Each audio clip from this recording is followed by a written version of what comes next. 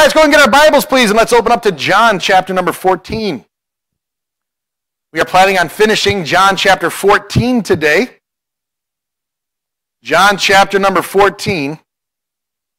Last week we looked at a very important concept of what peace is.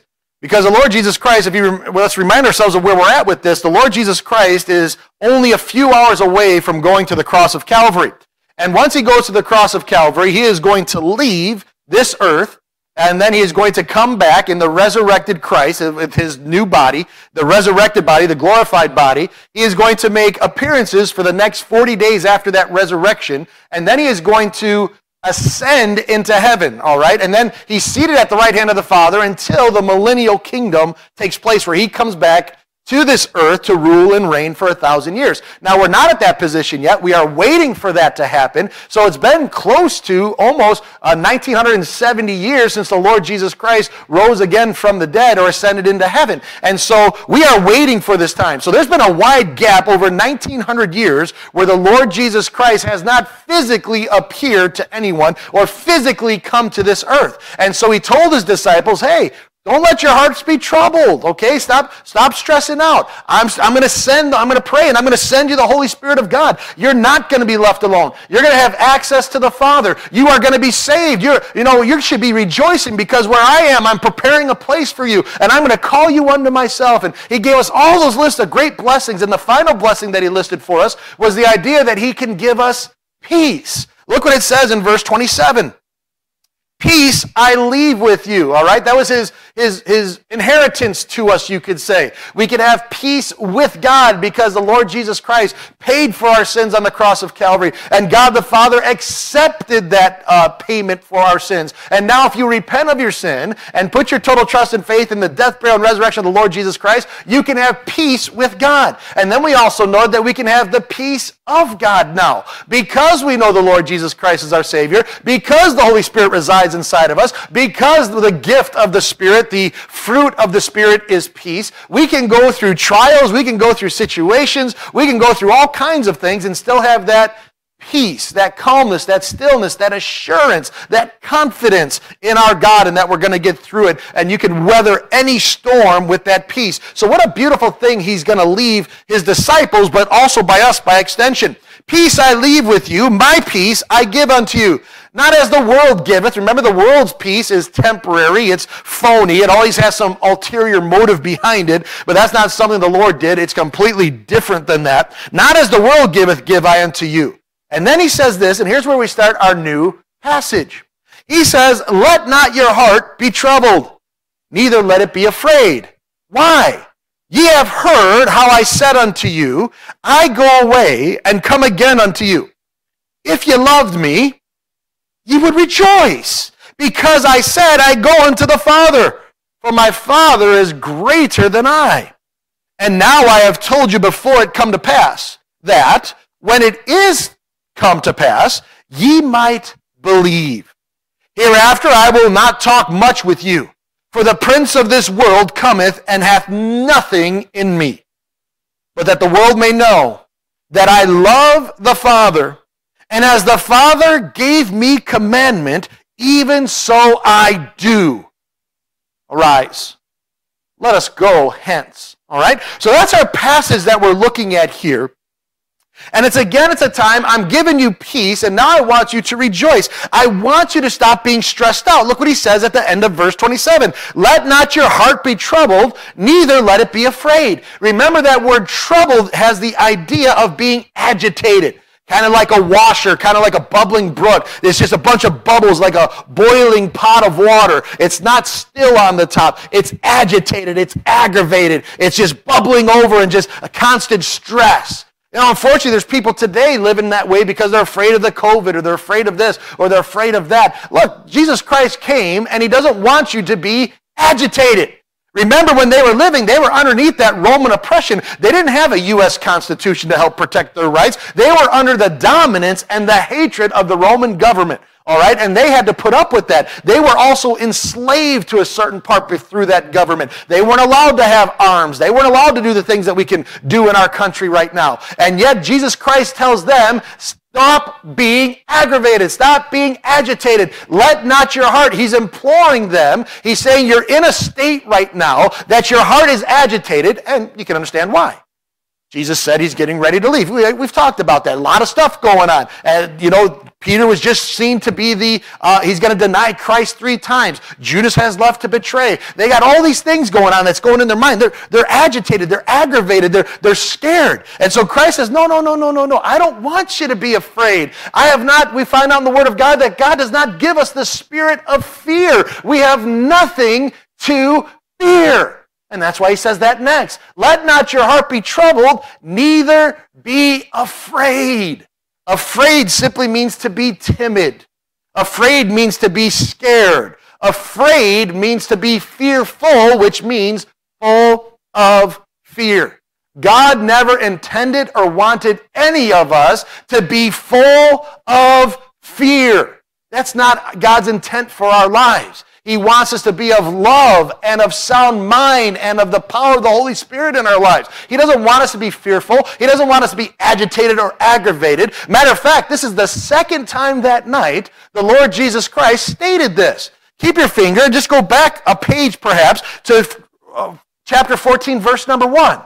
Remember how the Lord Jesus started this conversation? Remember how he started this topic? He says, Let not your heart be troubled. He said the same thing. That's exactly what he said in the last verse we just read at the end of verse 27. But there was a different reason. Here in verse number one, he says, You believe in God, believe also in me. All right? You trust God to take care of, but now make sure you trust me because this is what I'm going to do for you, right? I am not going to leave you comfortless. I am not going to leave you as orphans. I'm not going, I'm going to keep open that prayer opportunity. I'm going to send, though, I'm going to pray God that He sends the Holy Spirit to you. So Jesus Christ said, You believed in God, trust in me the same way. Put the same faith that you've had in God into me. And remember, that's what He says. He continues on. Uh, Verse number two, in my Father's house where God dwells are many mansions. If it were not so, I would have told you, I go to prepare a place for you. And if I go, and that's again that assumed to be true, and since I go, there's no question whether he's going or not. Since I go and prepare a place for you, he promises, I will come again and receive you unto myself, that where I am, there ye may be also. And whither I go, to where I go, you know, which we know is he's going to heaven. He's going to be with the Father. And the way you know, and then we covered all that where Philip answers, we don't know the way, you know, that kind of stuff. Uh, and, and we understood Christ responding to that. But the reason why I come to verse number one is because Jesus Christ has the same basic idea in verses 27 and 28 of why we should not be afraid why we should not be agitated, why we should not be troubled in our lives. He said, You believe in God, believe in me. I'm going to prepare a place for you, and I'm going to bring you back to myself. That's the same idea that he has here. Look what he says, and that's why the context of this chapter is important for when we get to the end of this verse. He says, uh, ver, ver, end of verse 27, Let not your heart be troubled, neither let it be afraid. Ye have heard how I said unto you, I go away. Well, where's he going to go away? Well, of course. He is getting ready in the next few hours to go to the Garden of Gethsemane. He is going to be betrayed by Judas. He's going to get mock trials and faulty religious trials and faulty civil trials. He is going to be accused of absolutely nothing but falsehoods. And he's going to go to the, he's going to get scourged. He's going to go to the cross of Calvary. He is literally going to die on that cross and they're going to place him in a tomb. So the Lord says, I'm going away. I, I am going away. All right, I'm going to die and I'm leaving. All right, that's the closest that we know. I go away, but then he adds, and come again unto you. So, this could mean I'm going away, the death, burial, and resurrection, or death, burial, and I'm going to come again unto you. That's when the Lord Jesus Christ rose again from the dead, right? And he came back in his glorified body, and he presented himself to his disciples for 40 days. And then after those 40 days, he went up to heaven and is seated at the right hand of the Father. That's what this could mean. But the other application could mean this that when he says, I go away, that could include the death, burial, resurrection, all the way through to the ascension.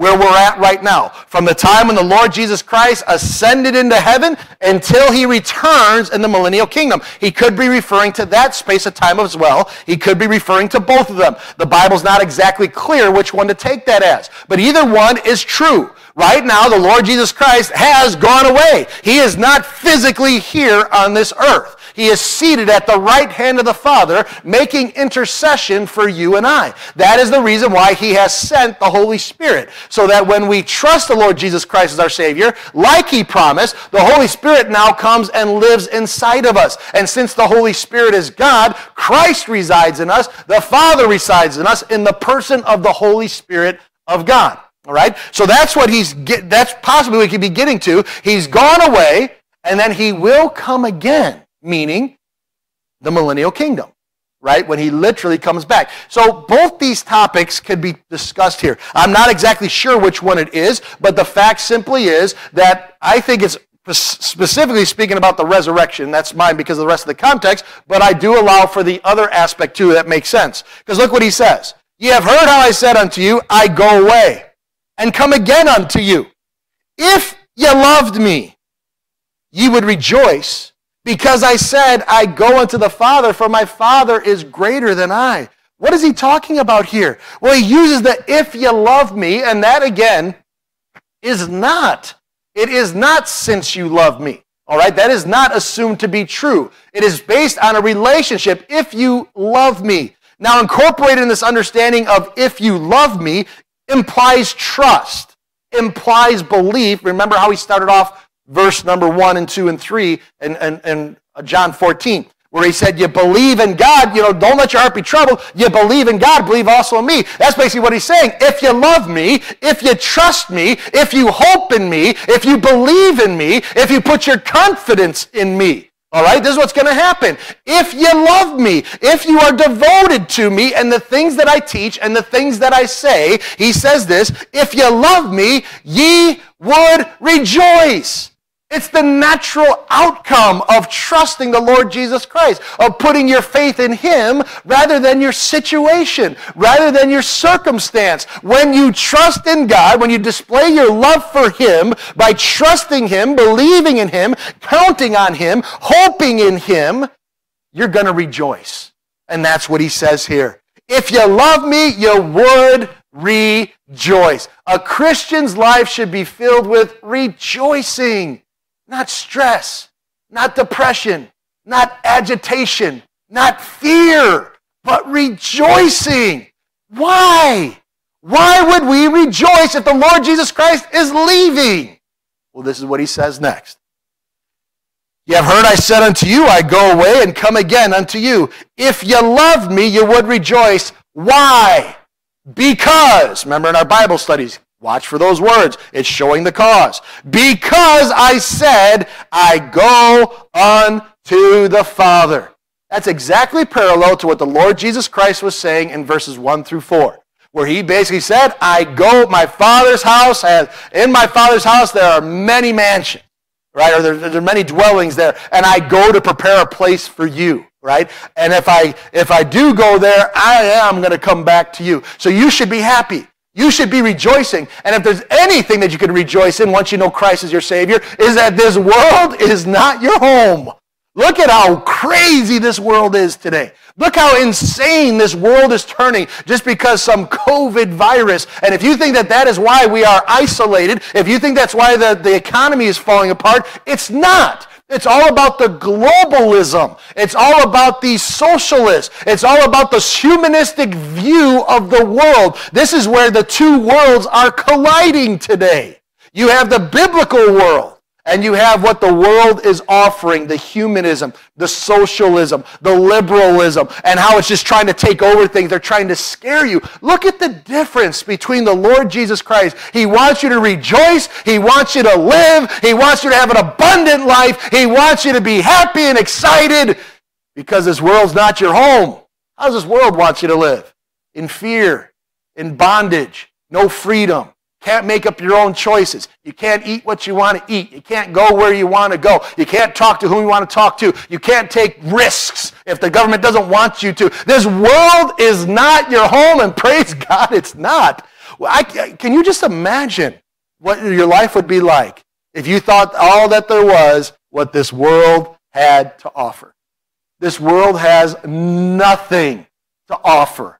It has pain, it has fear, it has lusts, it has abuses, it has all kinds of filth and foolishness. If this world was all that there was to be, I don't know anyone that's going to be rejoicing unless you're the one with the big bucks, unless you're the one that's calling the shots. There's no way you're going to be rejoicing. So Christ says, Look, I don't want you to be stressed out. I don't want you to be agitated. I don't want you to be fearful. I want you to rejoice because I go to my Father. There's another place out there. There's another realm, the spiritual realm, the heavenly realm, the eternal realm, God's realm, where sin has not been defiling. Where sin does not have any control over, where man and his humanism and his foolishness is not going to be in control. But God's laws and God's love and God's presence is going to overrule in every aspect up there. Sin will not stay in his sight. And that's where you have to understand the next part of this verse. I know a lot of cultists love taking this verse out of its context. And they love to say, especially the Jehovah false witnesses that are out there, and the Mormons that are out there, and sometimes Seventh day Adventists and others. There are many cults out there that use this verse to show that Jesus Christ is not God. And they'll pull this verse out of its context and say, see, even Jesus said that he is less than the Father, that the Father is greater than him. Look what he says. He says, You would rejoice because I said unto you, I go unto the Father. Why? There's that little word for there. It's explaining cause again. For my Father is greater than I. Now, if you have some smooth talking individual, they can try and tell you that the Father greater than I means that Jesus Christ is less than the Father. And they would take it this way, like the Jehovah false witnesses will do. They say that God the Father, Jehovah, created his Son, Jesus Christ where Jesus Christ still retained enough God powers to go ahead and to finish off creation, but he still is not Almighty God. He is a God. He is a lesser God. He is Michael the archangel because the word Michael means who is like God. And so God created Jesus first and then Jesus did all these other things. Or he could have it where the, the Mormons believe along those lines as well that Jesus is not God. He is the Elohim of this world. He was just a man. He was a brother with Satan himself. That Lucifer and Jesus were brothers, and that God, Elohim, uh, chose Jesus' plan to save Elohim's world rather than Satan's plan or Lucifer's plan, and that's why we have this constant struggle. There's a lot of foolishness out there that are always trying to put Jesus less than God, and this is their favorite verse. But when you keep it in its context, especially comparing it to verses 1 through 4, you note that when he's saying the Father is greater than I, he is not teaching that Jesus is less than God. I mean, think about it. Even in this passage, what did he already tell Philip? If you've all if you've seen me, you've seen who? God the Father. He's already said that I and my Father are one. He said, if you can't believe that I'm God, I do the works of the Father. The same exact works that the Father does, I do. The same words that the Father speaks, I speak. I, Jesus Christ is always claiming, all through the Word of God, he is claiming to be God in the flesh. If you've seen me, you've seen the Father. No one can claim that. I and the Father are one. You can go on and on. Every miracle that he did, he claimed to be God. He showed his authority as God. So then, what does he mean here that his Father is greater than him? Well, the context speaks of it.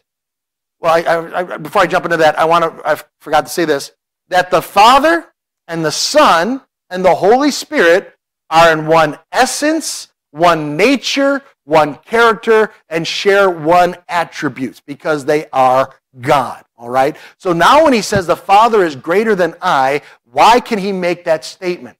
Well, it's simple. He was saying that, well, let's go here. Take your Bibles, go to Philippians chapter 2. I know I spend a lot of times in Philippians chapter 2, but that helps us understand the correlation of the Father and the Son and the Holy Spirit to a certain degree. All right? Philippians chapter number 2, we studied this a number of times, so I won't go through it too detailed. But this is how the Father is greater than the Son. Excuse me. In Philippians chapter number 2, verses 5 on down, Paul is addressing an issue in the church between two ladies that were fighting and causing disunity in the church. He said, Let this mind be in you, which, which was also in Christ Jesus who being in the form of God, being in the form of God means that he's the express image of God. It means everything that you think of God uh, as revealed in the Word of God is, that's who Jesus Christ is as well. And so he says, who being in the form of God, thought it not robbery to be equal with God. Now, there's none of us that would say, I am God or I am equal to God. We would be speaking blasphemy. We'd be speaking all kinds of foolishness. But Jesus Christ thought it was not robbery to claim that he was God or that he was equal to God. Matter of fact, he said, you have to, the Father said, you got to honor the Son the same way you honor the Father. And so he thought it's not robbery. What is robbery? Taking something that's not yours. That's robbery. Jesus didn't take anything from the Father when he said, I am equal with God, or that I am God, or that you have to honor me as you honor God, because he is God. All right? So that sets the, the tone right off the top of the bat that Jesus Christ is God. But here is the distinction. But made himself, Jesus made himself of no reputation. We talked about that. That means he emptied himself. It means when he was up in eternal glory, in eternity past, in perfect harmony with the Father, Son, and the Holy Spirit, they were in perfect unity in everything. But what he decided to do, what Jesus decided to do, not the Father didn't do this. The Father had the plan, but Jesus carried it out. Jesus emptied himself. And it says here, and, but made himself of no reputation, and took upon him the form of a servant, and was made in the likeness of men. Just as he is in the likeness of God, which means he's 100% God, he was made in the likeness of man, meaning he's 100% man. You know, we can't fully understand that. It's called the hypostatic union, if you ever hear some big theological term. It simply means that he had two natures. He was God and man 100% at the same exact time. Something we can't fully comprehend, but that's what the Word of God teaches, so I'm going to believe it. And so he was 100% God, 100% man. The Father never, ever came to this earth in the form of a man. The Father never submitted himself to come to this vile earth to do what Jesus Christ did. He says here in verse number 8, and being found in fashion as a man, he humbled himself. What a humbling it is for God, though it's the second person in the Godhead, for God to humble himself and become a man. To literally come to this earth which he created among the people which whom he created and allow them to spit in his face, to allow them to lie about him and to cheat and to beat and to bruise and to mock and to do all the insults and everything else. The Lord Jesus Christ willingly did that for you and for me. And being found as a fashion as a man, he humbled himself and became obedient unto death even the death of the cross. So you can see that the Lord Jesus Christ, in his position, though he is 100% God, he humbled himself. He came to this earth. He died for you and me. He rose again. The Father never did that. The Father never left eternal glory. The Father never had sin placed upon him. The Father never had that.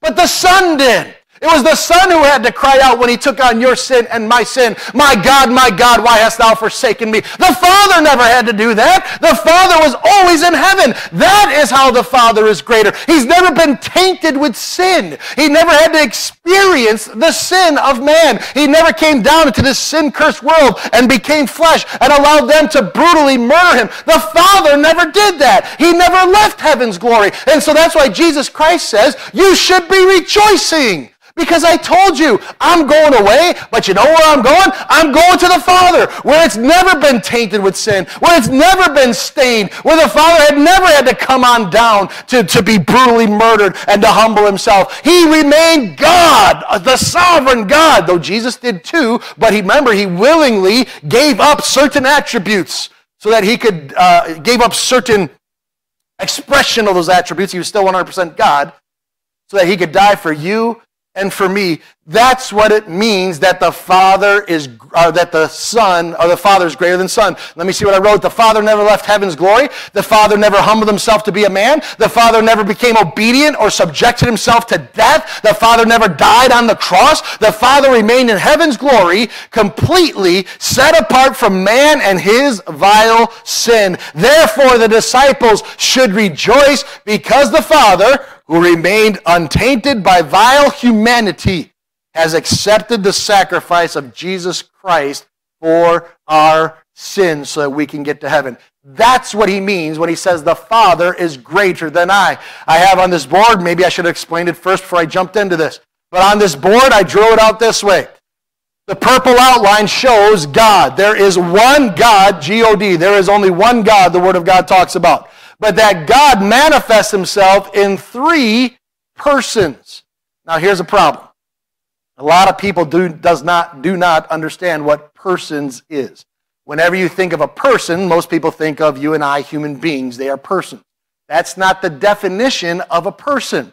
The definition of a person means you have three things that you have. You have a definition of person. Number one means that you are self conscious. You have an aware of your own existence. I am aware of how I function. I am aware of my own existence. I'm aware that I exist and how I interact with things around me. That is a person, is someone that is self-conscious. Number two, a person is someone that has a will. I can determine what I would like to do. I'm not doing it based on instincts, but I can think through things. And I know that when I make a decision, number three, third, third thing about a person is that they understand that they affect the world around them. That's the definition of what a person is. They are self-conscious, they have a will, and they know how their actions, or they can understand that their actions affects everyone and the world around them. That is the definition of a person. That is why dogs are not people. That is why cats are not people, or chimpanzees, or monkeys, or dolphins are not people. They do not have a self-conscious awareness. They do not understand that when they pick up that stick and they swing it around, how it affects the world around them. They do not under, they do not have a will. They do not sit back and say, should I do this or should I not do that? Look, if I go ahead and bite my master's hand, he's never going to feed me again. No, you train them. You teach them. You have to train animals in that fashion. They don't understand. Just go on YouTube and, and look at animal, funny animals. And you'll see that they have no clue what's going on. You'll have cats look at another cat inside a window or inside a mirror.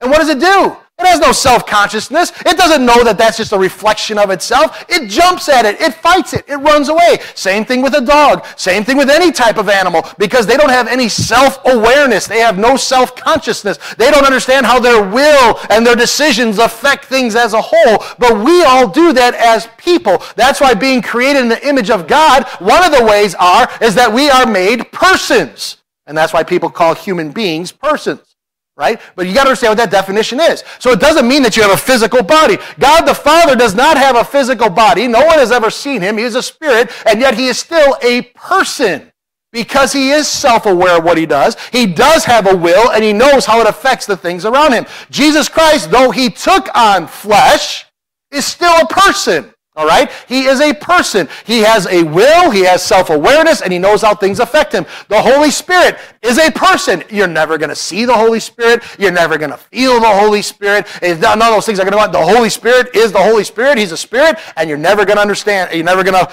uh, see him. Doesn't mean that he's not a person. The Holy Spirit has a will, a self awareness, and a consciousness how things work around. So when I talk about God being in three persons, doesn't mean that he has three physical human forms. And that's what confuses a lot of people. The Father is still a person. Now, the Father's job, of course, is to be supreme. That's his job. He comes up with all the plans.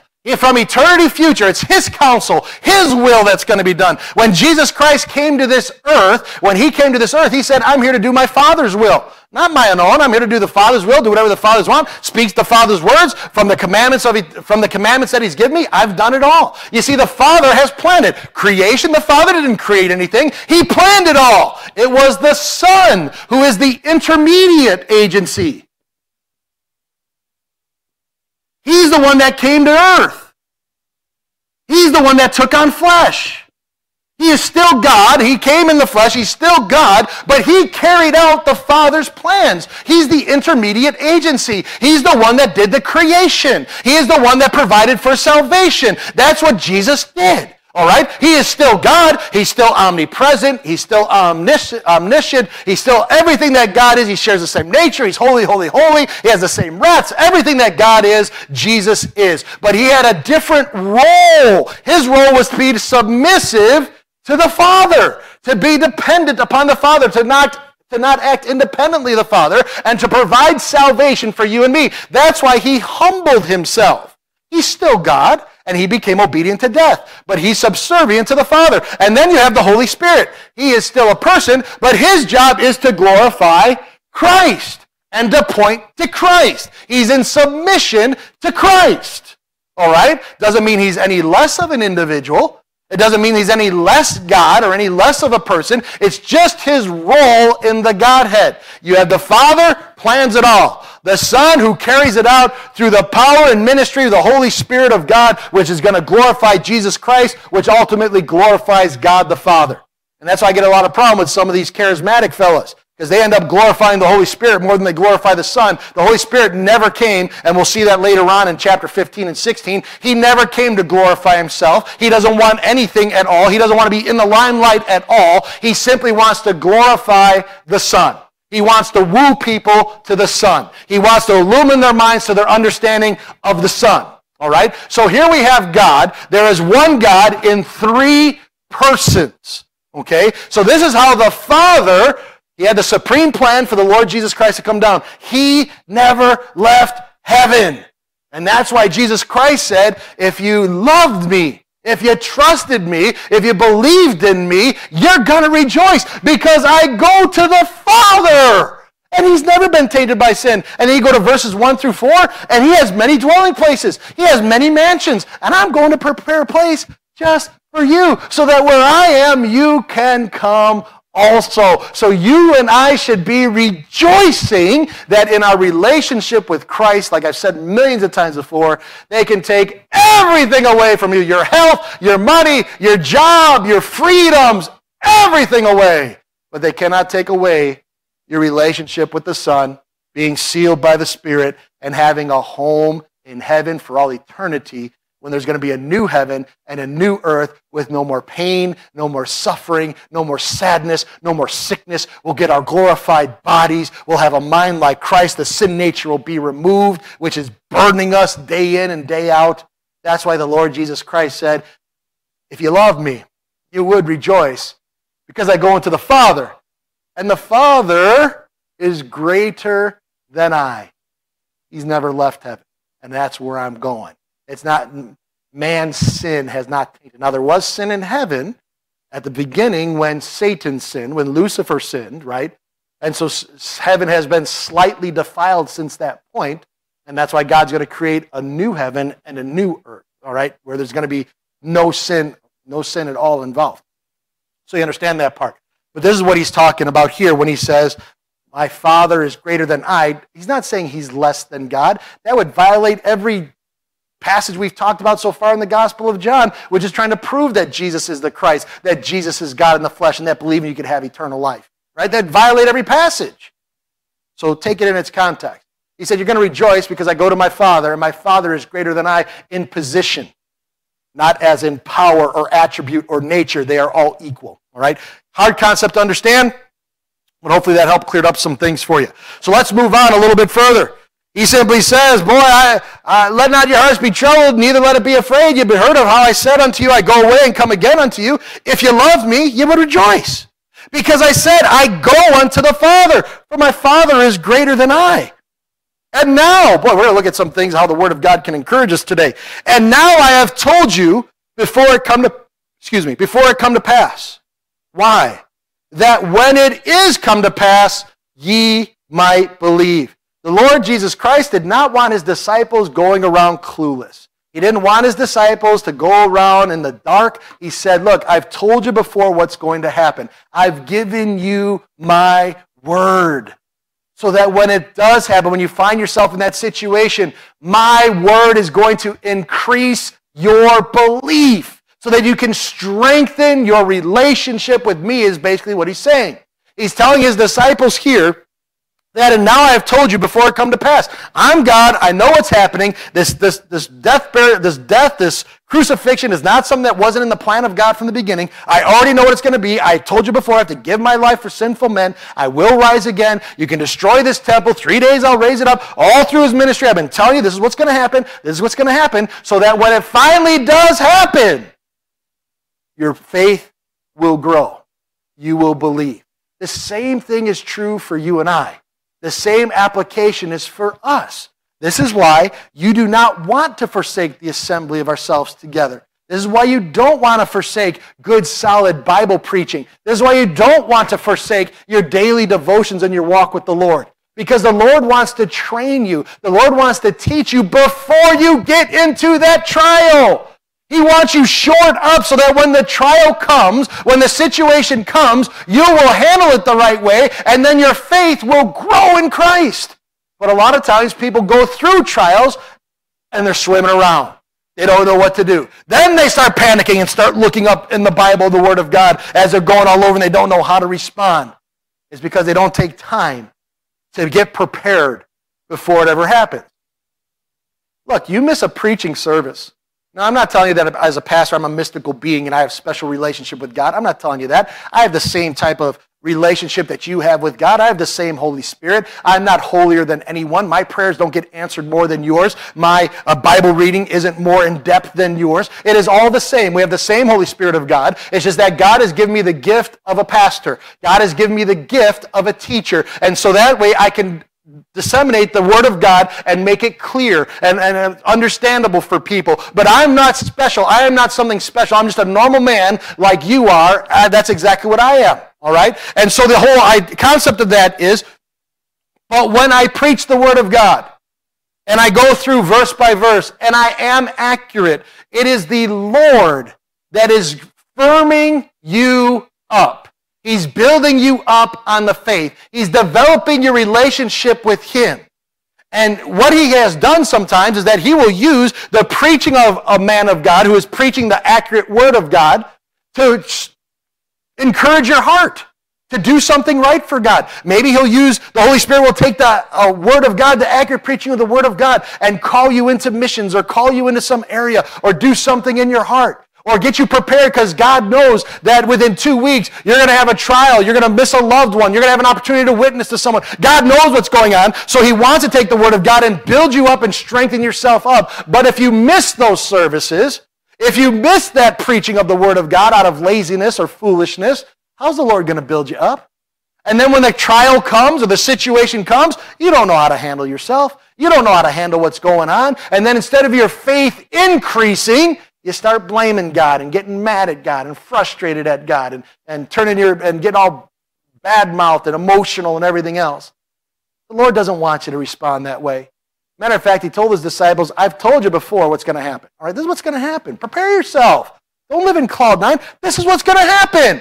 And I'm telling you before it happens so that when it does happen, your faith may grow rather than backpedal. All right, so the importance of the Word of God in our life just like for the disciples. And now I have told you before it come to pass that when it is come to pass, ye might believe that you will grow stronger in your faith. Verse 30, hereafter I will not talk much with you. Uh, at this point, the Lord's not going to talk much. He is going to have the resurrection. We get a couple pictures of that in the Word of God when he interacted with his disciples. After he interacted with his disciples, he, he, went, he saw them for about 40 days, so that's not much time compared to the three years that they've had. He said, I'm not going to talk much with you because I'm going to be sending up to heaven. And then I'm gone. I'm not going to be speaking to you anymore. I'm not going to be physically talking to you anymore. All right? He says, Here, hereafter I will not, uh, I, I will not talk much with you. Why? For the prince of this world cometh and hath nothing in me. Jesus will be arrested in a few short hours. Satan's hour is coming.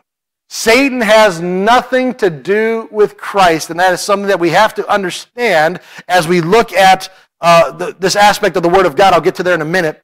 But Satan has absolutely nothing to do with Christ. He is considered the prince and power of the air.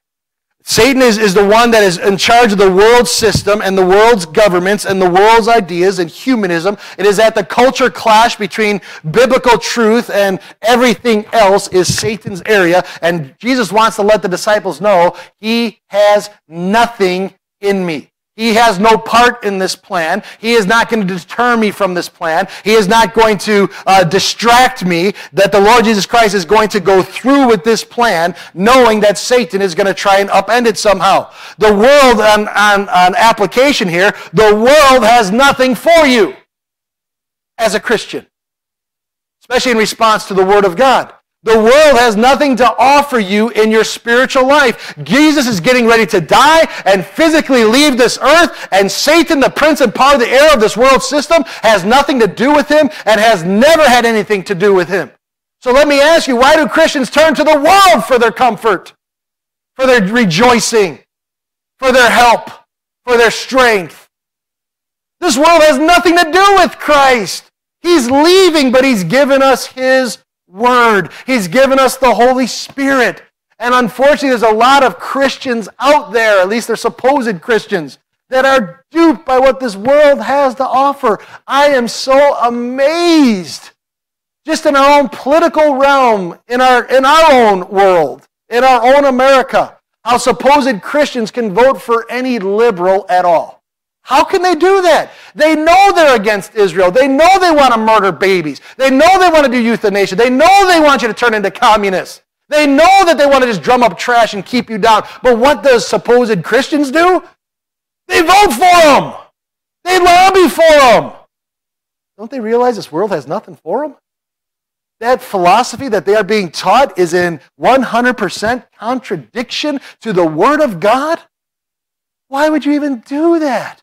I know a lot of Christians that will turn to a Dr. Spock or what this world has to say. I'm not going to spank my children. Oh, don't you see the scientific studies? You spank your children. You want to live like that? The Bible says you hate your child. Oh, no, I love them too much to discipline. No, the Bible says you don't discipline your child. You don't love him. Because you are not teaching them that there are consequences for their actions. Now, did I say abuse your children? Absolutely not. Did I say take sticks and slap your children? Absolutely not. Did I say them, take them by the hair and slam them against the wall? Did I say kick them? Did I say punch them? Did I say poke them in the eyes? Did I say shove them in a bathtub? I didn't say anything like that. I said you discipline them the way God intended you to, in a controlled manner, in the right way, letting them understand that there's consequences for what they are doing. Right? There's a proper way to discipline, corporal discipline your child. Now, there's plenty of abuses to it. I understand that. And I'm not endorsing any abuse of a child. But you do need to discipline your child the right way and the correct way, and not out of anger, not out of frustration, and not out of embarrassment. But you do it to train them in a loving way, though it may not seem too loving to them at the time. You're doing it because you love them. But there's going to be the world. What are they going to do? Can't do that. You spank your children, you're going to teach them to be mean, you're going to teach them to do this, you're going to teach them to do that. Oh, it doesn't work on my kid. My kid's the exception to the rule. No, you'd be the first and only that's the exception to the rule because God's rules are perfect and support everything. You're going to reap what you sow. I mean, you could go on and on. I don't have to belittle this point. You understand. The world has nothing to do with Christ. He's getting ready to leave. The world's, the, the world's going to try and slaughter him. He's going to, he's to be slaughtered, he's, but he's doing it to get victory over sin, over death and the grave. Jesus has the ultimate victory, but you can't physically sit down and talk to him. You can talk to him through his word. That's why I said this section is on the importance of God's word. Realize that there's a distinction between Satan and what he has to offer and what the word of God has to offer. All right? Hereafter I will not talk much with you, for the prince of this world cometh and hath nothing. Absolutely nothing. There is not a blend. There is not a mix. This world has absolutely nothing to do with the Lord Jesus Christ. Verse 31, he goes on, but that the world may know that I love the Father. This is interesting. Christ is going to display his love for the Father. He's going to show the world how he loves the Father. And how does he do this? He says, But the world may know that I love the Father. And as the Father gave me commandment, even so I do. What? Well, what? What is this all about?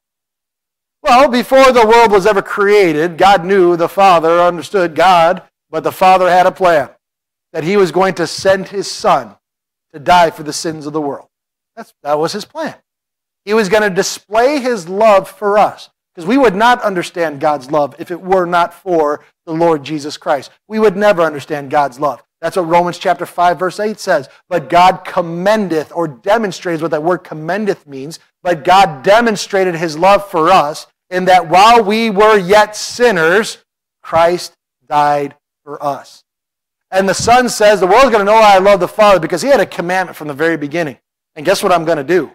I'm going to do it. Satan's not going to deter me for it.